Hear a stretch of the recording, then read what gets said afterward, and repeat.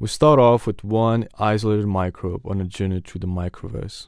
His journey begins off calm and smooth with very little interaction from the other shapes around him.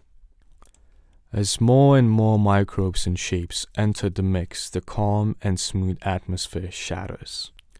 The tension starts to build as the microbes and shapes starts to collide and mesh with each other, upsetting the ecosystem around them. All the buzzing and crashing, the microbes are being compressed closer and tighter together until there's no space left. Finally, the pressure is released and a final burst of our singular microbe is left all alone once again to continue his journey alone to his final destination.